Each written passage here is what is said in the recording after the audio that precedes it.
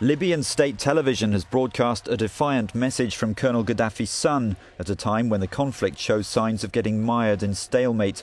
Saif al Islam Gaddafi, who along with his father is accused by the International Criminal Court of crimes against humanity, told a group of families from Benghazi that fighting the rebels would continue come what may. No one should think that after all the sacrifices we've made and the martyrdom of our sons, brothers, and friends, we will stop fighting, he said. Forget it. Regardless of whether NATO leaves or not, the fighting will continue until all of Libya is liberated.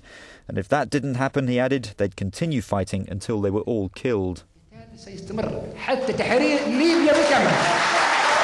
The broadcast follows recent attempts to marginalise the Libyan leadership. Last month, rebels welcomed an African Union offer to hold talks with the government without Colonel Gaddafi's involvement.